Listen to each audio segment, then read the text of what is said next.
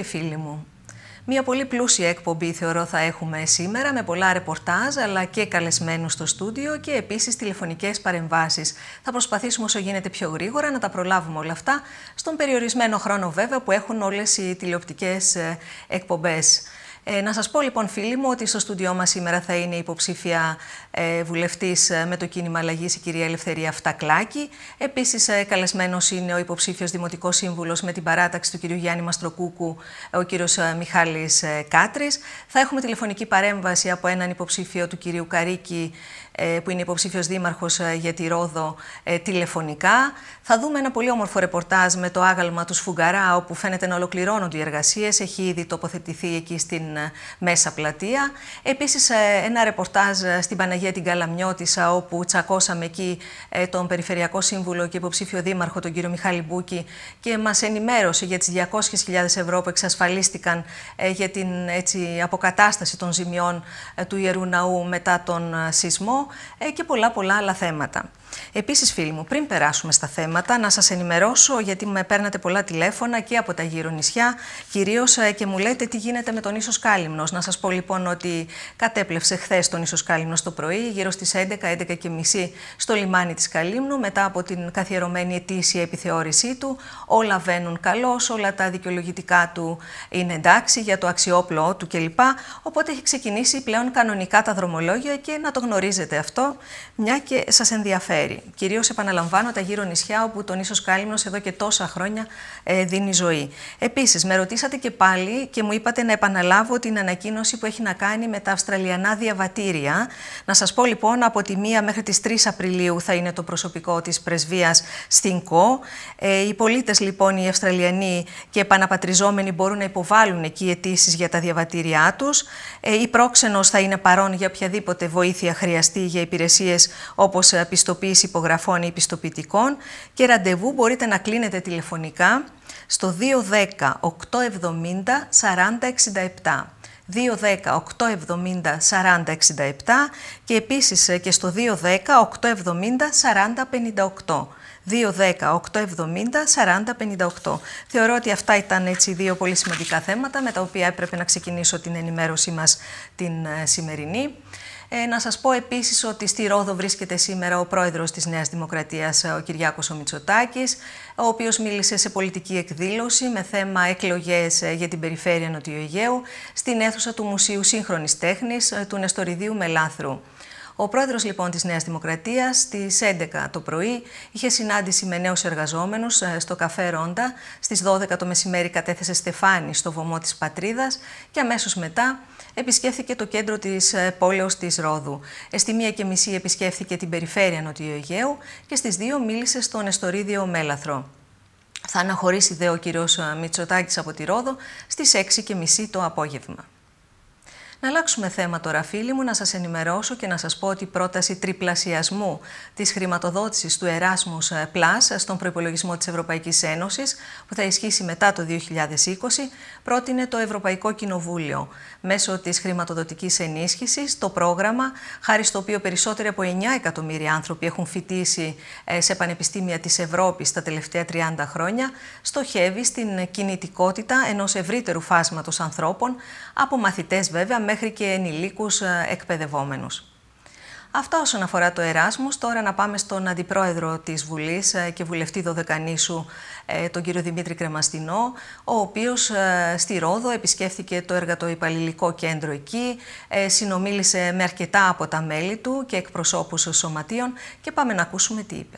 Ο αντιπρόεδρος της Βουλής και βουλευτής Δωδεκανήσου Δημήτρης Κρεμαστινός επισκέφθηκε το εργατοϊπαλληλικό κέντρο Ρόδου, όπου συνομίλησε με αρκετά από τα μέλη του, καθώς και με εκπροσώπους σωματείων. Στη συζήτηση συμμετείχαν η Σάβας Χατζησάβας, πρόεδρος του εργατοϊπαλληλικού κέντρου Ρόδου, Νίκος Τριπολίτη, Γενικός Γραμματέας και πρόεδρος του Σωματείου Οικοδόμων, Μιχάλης Χαροκόπος, μέλος εκτελεστικής επιτροπής ε, του εργατοϊπαλληλικού κέντρου Ρόδου και πρόεδρος του Σωματείου ΖΕΒΣ ΔΕΗ ΑΕ Ελευθέριος Καρανικόλας, ταμείας ε, ε, του Εργατοϊπαλληλικού Κέντρου Ρόδου και πρόεδρος του Σωματείου Εργαζομένων της ΔΕΙΑΡ Μιχάλης Ροδίτης, μέλος της διοίκησης του ΕΚΡΑ και πρόεδρος του Σωματείου Οδηγών Χειριστών Ετήμου Σκυροδέματος, Νίκος Ρεσβάνης, πρόεδρος του Σωματείου Εργαζομένων Ετεπρόφικα, Παναγιώτης Κοντός, πρόεδρος του Σωματείου Οδηγών Ταξί, Αντώνης Νικολάου, πρόεδρος του Σωματείου Εργαζομένων της Γιουρομέντικα και Σεχρεμέλη Τάσος, πρόεδρος της ΠΑΣΕΟΤΕ Δωδεκανήσου.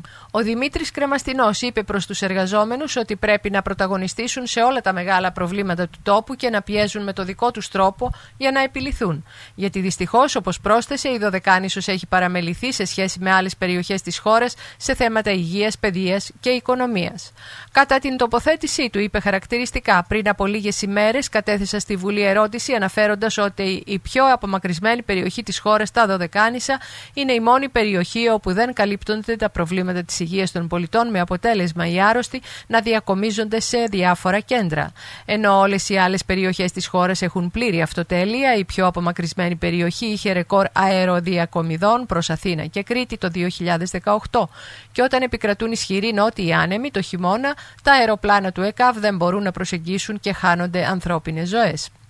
Ο αντιπρόεδρος της Βουλής αναφέρθηκε επίσης στην παιδεία, παρατηρώντας ότι το Πανεπιστήμιο Αιγαίου έχει αναπτύξει τις παραγωγικές του σχολές σε άλλα νησιά, καθώς ακόμα και την τουριστική σχολή την έχει εγκαταστήσει στοιχείο, ως αν να είναι καταλληλότερη για την εκπαίδευση των φοιτητών από τη Ρόδο ή την ΚΟ.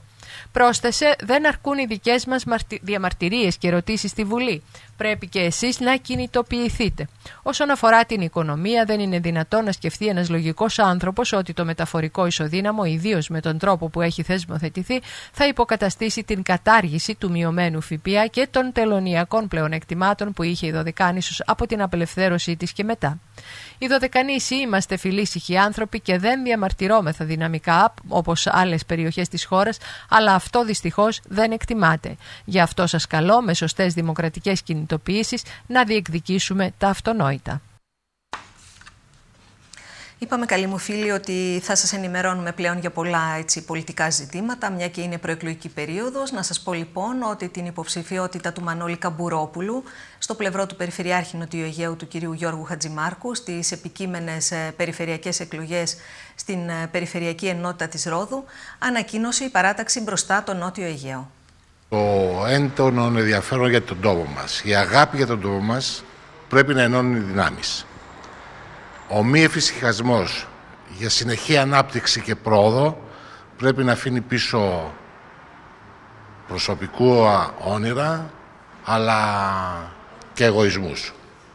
Με αυτά τα δεδομένα λοιπόν και μετά από μια ειλικρινή πραγματικά συζήτηση με τον Περιφερειάρχη αποφάσισα να είμαι και εγώ ένας από αυτούς που θα προσθέσει ένα θαράκι για την ανάπτυξη του τόπου μας. Για τη Ρόδο μας, για τα Δωδικάνησα, για ολόκληρο το Αιγαίο. Γι' αυτό θα είμαι υποψήφιος με τον Περιφερειάρχη, τον κύριο Χατζημάρκο, στις επόμενες περιφερειακές εκλογές. Τον ευχαριστώ πραγματικά για την πρόταση που μου έκανε. Η εκτίμηση είναι απεριόριστη και θα προσπαθήσω κι εγώ να είμαι από αυτούς που θα στηρίξει αυτή την προσπάθεια. Θέλω να ευχαριστήσω τον Μανώλη Καμπουρόπουλο για την εμπιστοσύνη. Γιατί είναι, είναι πραγματική εμπιστοσύνη όταν κάποιος, ειδικά με τη δική του διαδρομή, αφού έχει υπηρετήσει και στον ε, δεύτερο και στον πρώτο βαθμό, ε, παίρνει αυτή την απόφαση. Να πω ότι συνθέτουμε μια ομάδα, μια πολιτική ομάδα, με ισχυρές προσωπικότητες και η συμμετοχή του Μανώλη μας βοηθάει στο να έχουμε αυτό το μείγμα της εμπειρίας και της φρεσκάδας το οποίο κάθε πολιτική ομάδα χρειάζεται. Η διαδρομή μας ε, ήταν καθαρή όλη την, σε όλη την πορεία της και η στόχη μας είναι επίσης ακόμα πιο καθαρή. Χαίρομαι γιατί μεγαλώνουμε, δυναμώνουμε. χαίρομαι γιατί οι άνθρωποι οι οποίοι έχουν ε, την διαδρομή του Μανώλη, την εμπειρία του Μανώλη, το βιογραφικό του Μανώλη Καμπουρόπουλου, έχουν ακόμα την όρεξη και παίρνουν και την απόφαση αυτή να συνεχίσουν. Σε μια εποχή η οποία έχει μεγάλες προκλήσεις, αλλά όπως ακριβώς τις διαχειριστήκαμε αυτά τα τέσσερα πρώτα χρόνια της θητείας μας. Με τον ίδιο ακριβώς τρόπο θα συνεχίσουμε και πραγματικά σε μένα τουλάχιστον προσωπικά, για μένα προσωπικά είναι τιμή η εμπιστοσύνη ανθρώπων σαν τον Μανώλη Καμπρό. Καλώς όρισες Μανώλη, ευχαριστώ πάρα πολύ. Και καλή, καλή δύναμη, κάθε επιτυχία εύχομαι. Υπάρχει κάποια κεντρική εκδήλωση όπου θα ανακοινώσετε το νέο σας πρόγραμμα, το νέο συνδυασμό σας; Εμείς όπως και το, εγώ τουλάχιστον όπως και το 2014 δεν είχα πρόγραμμα και το είχα πει δημόσια, είχα σχέδιο. Λοιπόν, ε, αυτό εξακολουθεί να ισχύει. Θα συνεχίσουμε χωρίς πρόγραμμα, γιατί το πρόγραμμα ε, ανήκει στη δεκαετία του 80, του 70, του 80, άντε και λίγο του 90. Και εμείς πετύχαμε ακριβώς γιατί δεν είχαμε πρόγραμμα. Εμείς είχαμε σχέδιο. Ε, ένα σχέδιο το οποίο αποδείχθηκε ότι ήταν συνεκτικό και συγκροτημένο. Θα το παρουσιάσουμε το νέο μας σχέδιο, θα το παρουσιάσουμε ε, εν ευθέτω χρόνο. Στον πολιτικό χρόνο που θα κρίνουμε ότι είναι ο ικανός. Ευχαριστώ. Με την ευκαιρία του Περιφερειακού Συμβουλίου που έγινε στη Ρόδο την 3η 5 Μαρτίου, φίλοι μου, ο έπαρχος ε, ΚΟ, ο κύριος ε, Χαλκιδιός, αναφέρθηκε σε θέματα με τα οποία ασχολήθηκαν και αφορούσαν γενικότερα βέβαια τα νησιά μας και όπως τόνισε, ιδιαίτερα ασχολήθηκαν με αυτά του νησιού της Καλύμνου, αλλά και της ΚΟ, με κύρια στόχευση τα προβλήματα βέβαια τα οποία δημιουργήθηκαν από τις ε, πρόσφατες πλημμύρες. Με απόφαση λοιπόν, φίλοι μου της περιφέρειας Νοτιού Αιγαίου, πρόκειται να αποζημιωθούν οι πληγήσεις επιχειρήσεις. Αναφέρθηκε επίσης ε, ο κύριος Χαλκιδιός στις υποδομές στον τουρισμό, στο νησί της ΚΟ, τις οποίες έκρινε πολύ ικανοποιητικές, αλλά και στις προσπάθειες ε, που γίνονται στον ε, πρωτογενή τομέα, παράγοντες οι οποίοι συνηγορούν βέβαια στις ευίωνες προοπτικές του τουριστικού προϊόντος κατά την προσεχή τουριστική περίοδο. Πάμε να ακούσουμε. Σήμερα στο περιφερειακό δεν έχουμε θέματα που αφορούν την ΚΟ. Υπάρχουν θέματα όμως που αφορούν το νησί της Καλύμνου, αρκετά θέματα. Κάθε μήνα εδώ είμαστε, προωθούμε τα προβλήματα των νησιών μας, να βρίσκουμε λύσεις, να ελοποιούνται έργα. Αυτός είναι ο στόχος μας. Η δουλειά μας αυτή είναι να βοηθήσουμε τα νησιά μας. Όσοι τουλάχιστον είμαστε από τα νησιά. Και αυτό κάνουμε όλοι. Τώρα, για την ΚΟ Αυτά τα προβλήματα που έχουμε τελευταία είναι με τις πλημμύρες και υποστήκαν πολλές ζημιές και επιχειρήσεις και τα σπίτια. Περιμένουμε τον δημόσιο διαγωνισμό ώστε να ξεκινήσουμε να καθαρίσουμε τα ρεύματα, να μην ξανασυμβούν αυτά τα προβλήματα. Και το πρόβλημα που δεν είχαν καθαρίσει μέχρι τώρα είναι ότι μας αναθέσαν τα ρέματα τελευταία στιγμή, τον Αύγουστο, οπότε για να γίνει ένας δημόσιος διαγωνισμός για όλα τα νησιά είναι χρονοβόρος.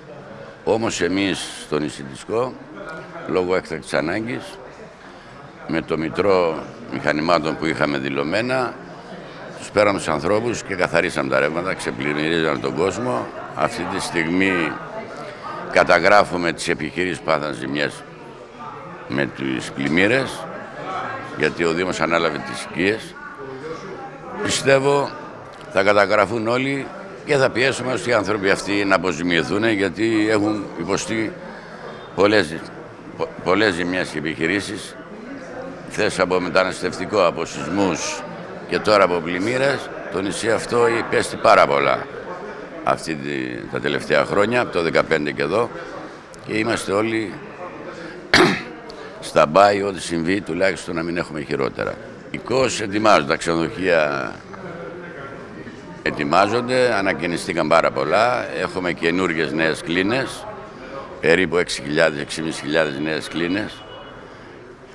Πρόβλημα είναι το πώς θα πάει. Από ό,τι έχω πληροφορηθεί, μέχρι σήμερα οι κρατήσεις, οι προκρατήσεις είναι κάπου 5-6% εσμένες σε συγκρίση με πέρυσι. Πιστεύω να ανέβουν οι προκρατήσεις και να έχουμε πάλι κόσμο γιατί πραγματικά το νησί προσφέρει πάρα πολλά. Και κλίνες, ξενοδοχεία, πεντάστερα, λουξ ξενοδοχεία και είναι ένα νησί, ωραίο νησί, μπορεί να βρει επισκέπτες τα πάντα σε αυτό το νησί. Πρέπει όλοι να τρέξουμε γιατί η μόνιμα, έχει γίνει πλέον μόνο καλλιέργεια ο τουρισμός.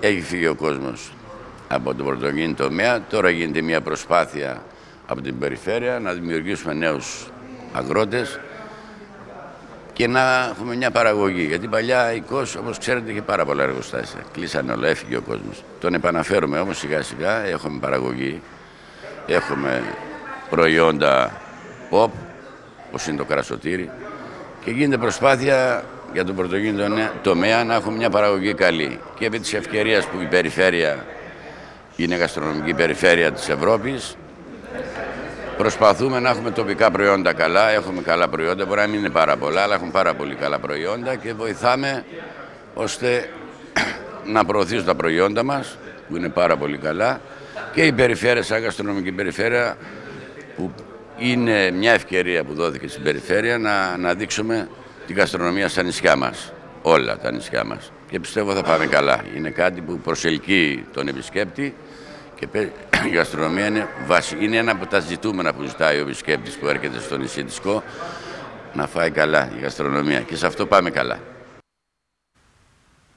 Λοιπόν, φίλοι μου, ακούσαμε τον κύριο Χαλκιδιό. Τώρα μας μένει λίγος χρόνος ακόμη σε αυτό το μέρος. Οπότε θα πάμε να δούμε το ρεπορτάζ με τον Περιφερειακό Σύμβουλο και υποψήφιο δήμαρχο, τον κύριο Μιχάλη Μπούκη, τον οποίο τσακώσαμε να αναζητεί τον ιερέα του ιερού ναού της Παναγίας της Καλαμιώτησα για να του ανακοινώσει τα ευχάριστα. Ότι δηλαδή 200.000 ευρώ εξασφαλίστηκαν για την αποκατάσταση των ζημιών του ιερού ναού. Πάμε να δούμε το ρεπορτάζ.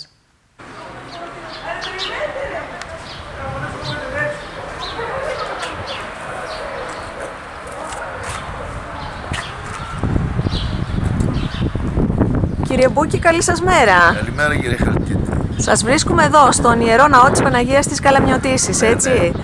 Έχετε ευχάριστες ειδήσεις να μας πείτε. Σας κάλεσα εδώ, διότι είναι το κατάλληλο περιβάλλον, για να κάνω μια ανακοίνωση που αφορά την ενορία μας. Εδώ μεγαλώσαμε, είμαστε νομίζω και οι δύο ενορίτες. Ε, όπως ξέρετε η εκκλησία μας έχει πάθει μεγάλες ζημιές από το σεισμό του 2017 με αποτέλεσμα να είμαστε αναγκασμένοι να λειτουργούμε στο συνέθισα τελετών ένα γεγονός που δεν είναι καθόλου ευχάριστο εφόσον παρατείνεται χρονικά. Βέβαια. Ε, το, το κάναμε για, για λίγο, για προσωρινό, αλλά βλέπω ότι έχουν περάσει και όλα σχεδόν δύο χρόνια. Ε, έπρεπε λοιπόν να βρούμε έναν τρόπο να επισκευαστεί ο Ιερός Ναός. Ε, εγώ σαν Περιφερειακός Σύμβουλος έκανα μια παρέμβαση χτες στο Περιφερειακό Συμβούλιο και ζήτησα από τον κύριο Περιφερειάρχη να εντάξει στο τεχνικό πρόγραμμα της Περιφέρειας ένα κονδύλι για την επισκευή του ναού. Ο Περιφερειάρχης ε, δέχτηκε ευχαρίστως και έτσι εντάξαμε χτες 200.000 ευρώ που θα χρησιμοποιηθούν ε, για την επισκευή και ανακαίνιση του, του ναού. Πολύ ωραία. Μας χαροποιεί ιδιαίτερα. Μας χαροποιεί, αλλά από εδώ και μπρος είναι η δουλειά, διότι μπορεί τα λεφτά να έχουν μπει στον προπολογισμό της περιφέρειας, αλλά πρέπει ε, και εμείς από εδώ και σαν Εκκλησιαστική Επιτροπή και σαν Μητρόπολη ε, και εγώ προσωπικά να βοηθήσω και όποιος άλλος ε, μπορεί, ούτως ώστε να προετοιμαστούμε σωστά για να μπορέσουμε να απορροφήσουμε τα, τα χρήματα. Τα χρήματα Ήδη έχει γίνει το πρώτο βήμα εδώ από την Ενοριακή Επιτροπή και από τον πατέρα Χατζηδάκη. Ε, κάνανε μια πολύ καλή ενέργεια, φέρανε ένα πολιτικό μηχανικό ο οποίος εκτίμησε τις ζημιές ε, και μας λέει τι πρέπει να γίνει από εδώ και πέρα από άποψη μελετών. Θα, πρέπει λοιπόν να ξεκινήσουμε σε συνεννόηση με την περιφέρεια και αν χρειαστεί και με την αρχαιολογία, την αρχαιολογική υπηρεσία, ούτως ώστε να ξεκινήσουμε την εκπόνηση των μελετών πρώτα, οι οποίες και αυτές μπορούν να χρηματοδοτηθούν από τις 200.000 ε, οι μελέτες θα μας ε, δείξουν προφανώς τι πρέπει να γίνει ε, και ποιο θα είναι το τελικό κόστος αποκατάστασης; Ωραία κύριε Μπούκη. Αναζητήσαμε και τον ιερέα να μας πει δύο λόγια, αλλά δεν τον πετύχαμε σήμερα εδώ, στο ναό. Ναι, όχι, και εγώ τον πήρα ένα τηλέφωνο, αλλά έλειπε από το σπίτι του. Είναι ενημερωμένος, θεωρώ, έτσι. Είναι ενημερωμένος, ναι. Εγώ θα ενημερώσω και το σεβασμιότατο. Ε, και εγώ είμαι διατηθειμένο να βοηθήσω από εδώ και πέρα διαδικαστικά να προχωρήσει η δουλειά να γίνει το έργο, γιατί δεν αρκεί μόνο να υπάρχουν τα χρήματα, πρέπει και να απορροφηθούν και σύντομα, σύντομα σχετικά με τις διαδικασίες να ολοκληρωθεί η επισκευή για να μπορούμε να μεταφερθούμε πάλι εδώ στον ιστορικό αυτό ιερό ναό. Να ολοκληρωθεί η αποκατάσταση. Ωραία κύριε Μπούκη, ευχαριστώ πολύ και εγώ ευχαριστώ. την ενημέρωση. Καλημέρα. Καλημέρα. Λοιπόν, αυτά και από τον κύριο Μπούκη. Προσωπικά χαίρομαι και εγώ ιδιαίτερα, μια και είμαι ενορίτησα της Παναγίας της Καλαμιώτησα. Φίλοι μου, θα πάμε τώρα σε διαφημίσεις και θα επανέλθουμε με φιλοξενούμενο εδώ στο στούντιό μας τον υποψήφιο Δημοτικό Σύμβουλο με την παράταξη του κύριου Γιάννη Μαστροκούκου, τον κύριο Μιχάλη Κάτρη.